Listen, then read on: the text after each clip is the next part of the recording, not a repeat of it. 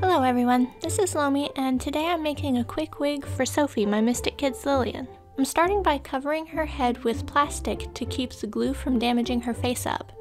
I've already made a wig cap using pantyhose and a little bit of white glue. For this wig, I'll be using wefts made with white glue, some basic school glue to attach them to the wig cap, and a paintbrush for spreading the glue. I spread glue on the wig cap and then apply the weft to the glue. Brushing a little more glue on top helps it be more secure. Even though I plan for this wig to have a fringe on the front, I go ahead and put wefts all the way around the edge of the wig cap. If you've never made wefts before, I covered that process in another video I posted a while ago. I used the same process for this, but I made them using white glue this time instead of the super fabric adhesive. The biggest difference is that the super fabric adhesive is waterproof, while white glue isn't. However, white glue dries much faster, so if your wig won't need to be washed often, it's just as effective as the stronger glues. The white glue is also non-toxic, which makes it a good option if you don't want to wear a respirator, or if you don't have one.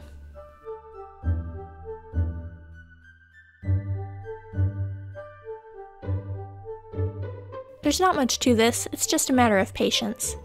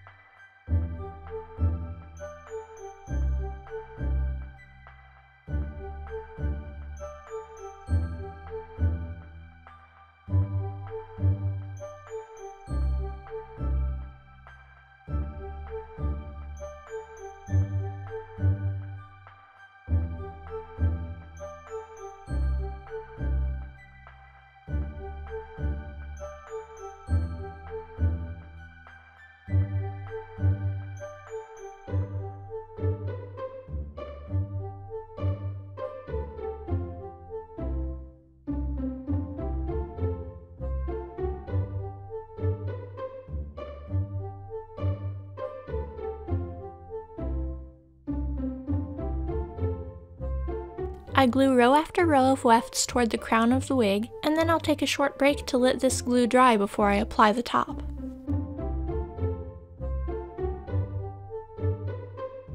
I've saved my best wefts for the very crown. These are the thickest and smoothest wefts, and also the prettiest hair. Because the placement of these pieces is a little bit more finicky, I switch to a thicker glue that's less likely to shift as I move pieces around on top of each other. I apply a few thick wefts at the top just to make sure that all the places where glue is showing underneath are covered. Then it's time to do the part. I lay the very top wefts facing the opposite direction of the way I want them to lay. After the glue is dry, I'll fold them back. This will give me an attractive center part. I do one side at a time, letting the first side dry completely before I put on the other.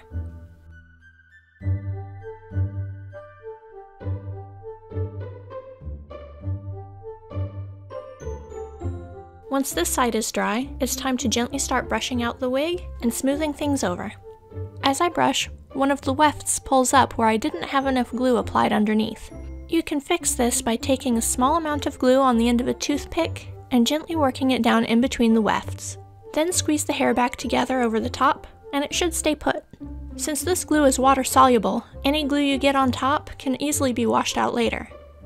Since I still don't have a flat iron, I use a large barrel curling iron to smooth out the top layer of the hair. This also flattens the part.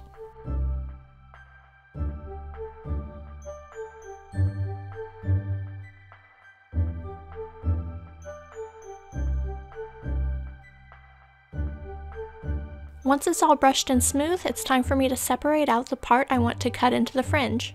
I lift it a few times to make sure I've parted all the way through all the layers, and also to make sure that it's as symmetrical as possible.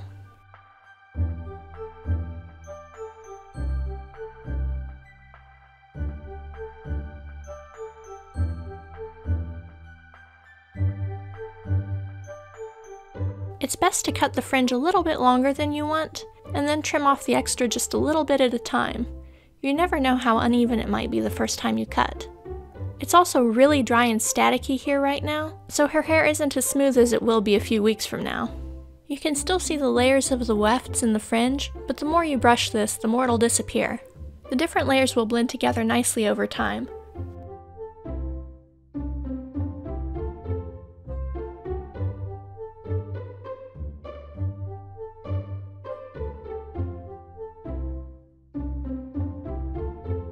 A little more trimming, and now her wig is done.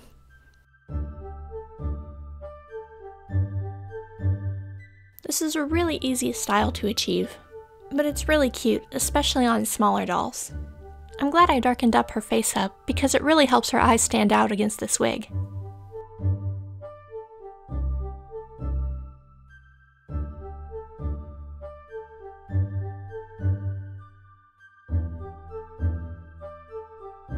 That's all for today, though. Thanks for watching. Bye.